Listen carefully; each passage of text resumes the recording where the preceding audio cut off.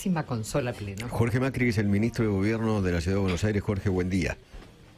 Eduardo, buen día, ¿cómo les va? ¿Cómo le va? Bien. Recién hablaba con Patricia Bullrich y ella dice, con nosotros no se jode y, con el kirchnerismo no se puede ir para atrás. Eh, ¿Usted sintió que el otro día el gobierno de Ciudad de Buenos Aires fue para atrás? No, para nada, para nada. Encontramos en el operativo, en un momento de mucha eh, confrontación, primero mucha firmeza de parte de la policía, mm. eh, después de que tiraron las vallas, lo que hay que hacer un operativo, la fuerza se repliega, se une y resiste, porque la lógica de salir hacia adelante por ahí combatiendo en, ese lugar es una lógica que hay que medir muy bien en el momento. Primero estamos en un barrio de, de calles angostas donde la gente vive, hay locales o viviendas en planta baja, primer piso, es muy difícil el escape, el repliegue, el mover las fuerzas de seguridad, no es la, la explanada de el Congreso o la eh, Plaza de Mayo, donde hay un espacio y entonces uno puede moverse operativamente. La decisión fue firme, marcamos presencia, evitamos que el kirchnerismo cope de manera permanente el barrio. El objetivo del kirchnerismo el sábado era instalar una campe, una feria, seguir subiendo la vara de la presencia y molestando a los vecinos. Lo evitamos con 20 policías heridos, eh, así que ahí no hay ninguna debilidad ni el ir para atrás. Se encontró un equilibrio razonable entre el ejercicio de la fuerza y la presencia del Estado y gente que va dispuesta a todo, que es lo que uno ve en militantes que son muy fanáticos y que están dispuestos a hacer cualquier cosa en un barrio que sin duda lo sufre y donde mantuvimos presencia y lo que vemos después del sábado es una actitud completamente distinta, diferente. Y bueno, y ahora la novedad del fallo del juez Gallardo que nos sorprende, no sorprende, no es que nos sorprende. este, nos sorprende porque, siempre es lo mismo, claro. Exactamente, siempre es lo mismo. Eh, ¿Qué van a hacer? Pero no, no, no me parece que hayamos retrocedido ni... ¿Y qué van a hacer mucho menos hayamos demostrado este, debilidad. ¿Qué van a hacer con lo del juez Gallardo? ¿Van a apelar? Eh, recusarlo, apelar, eh, ir por todas las vías posibles, primero porque eh, eventualmente este tipo de, causas y amparos deben resolverse en otra en, otro fuero, que tiene que ver con lo contravencional de la ciudad de Buenos Aires. El juez Gallardo suele desconocer este, la justicia de la ciudad y meterse. es un juez altamente politizado, digamos más allá de eso, vamos a seguir teniendo presencia, vamos a seguir haciendo como ayer que intentamos evitar lo más posible el corte de calle cuando la vicepresidenta entra o sale. Eh, vamos a seguir haciendo lo mismo que hicimos, tener presencia de áreas blandas, si se del Estado, limpieza, orden, espacio público, evitar que se instalen parrillas. Ayer eh, parece medio anecdótico, pero se iban a instalar eh, seis parripollos, digamos, donde querían empezar a vender este, los movimientos, sus propios pollos y molestar al barrio, vamos a seguir levantando la vara. Cada vez que el kirchnerismo intente mm. subir un escalón, el incumplimiento de la norma y la ley, nosotros vamos a subir dos escalones, mm. eh, la presencia, el orden público, porque es un rol que no vamos a delegar, no vamos a abandonar ese rol en la ciudad. Mm. Eh, a ver, estoy viendo en estos momentos eh, gran cantidad de móviles de la Policía Federal ahí en la cuadra de Cristina, ya apostados. Bienvenidos.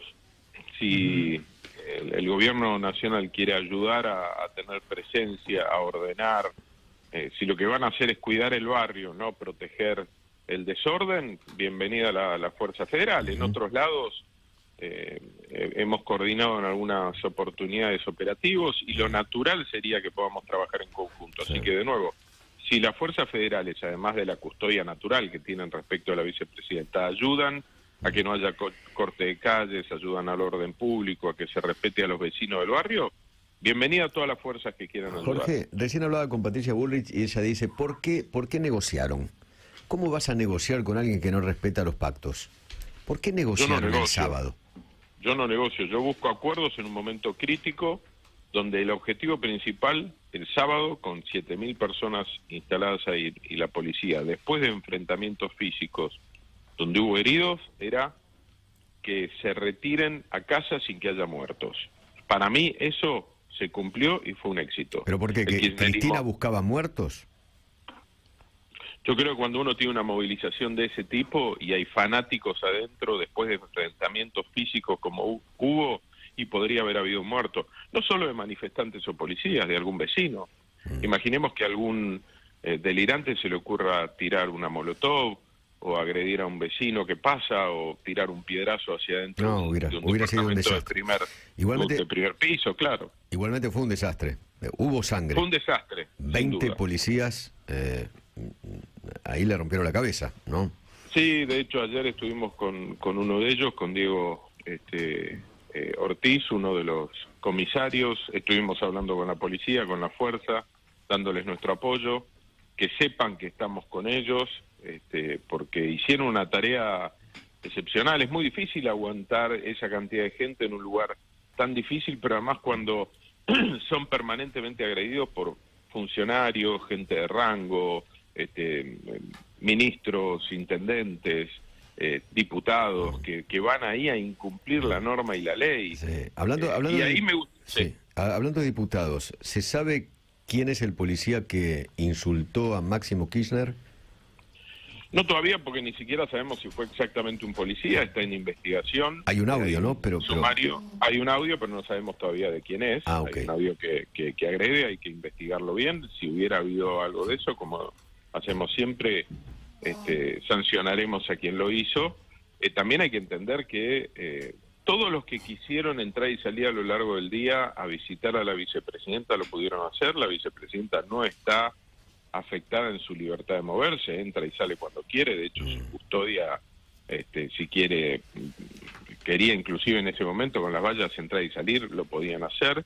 Muchos funcionarios entraron. Lo que hubo en un momento fue eh, el diputado Máximo Kirchner quiso no solo entrar él, ser la punta de lanza de otros que querían avanzar. Violentamente contra la policía, eso es. Exactamente. y la verdad es que los que tenemos una responsabilidad institucional, además de el, orgullo y, digamos y, el cargo que tenemos, tenemos que respetar la norma y la ley más que nadie, eh, o deberíamos, por lo menos, sobre todo en momentos tan críticos eh, cuando hay enfrentamiento físico. Pero bueno, es, es una metodología habitual en el kirchnerismo. Eh, eh, escuché del kirchnerismo ayer que lo que hicieron ustedes como gobierno de la ciudad es produjeron un Martín García el sábado. Bueno, el, kirchnerismo siempre relata, este, toma escenas del pasado que le gustan este, y hacer banderas. Lo cierto es que nosotros queremos que el barrio ese pueda vivir en paz la vicepresidenta decidió vivir ahí, ¿no? Ellos detestan a la ciudad, agreden a la gente a la que le va más o menos bien y es independiente y libre, pero eligen vivir eh, en, en, la ciudad y en el barrio más cheto de la ciudad, ¿no? Mm. Eh, es raro porque porque nos agreden, la persiguen, quieren romper esta ciudad de manera permanente, pero eligen vivir acá. E insisto, no en, en un barrio popular, deciden vivir en el barrio más cheto. Bueno, después ellos construyen su épica, sus relatos, sus mentiras. Lo cierto es que nosotros vamos a seguir teniendo presencia. Si se suma la Policía Federal a ayudar en esa presencia, encantado, pero nuestra responsabilidad de brindar seguridad en el territorio de, de, la, de la Ciudad de Buenos Aires no la vamos a relegar ni vamos a renunciar a eso. Jorge, le agradezco muchísimo. Gracias. Muchas ¿eh? gracias. Buenos días. Jorge Macri, el ministro de Gobierno.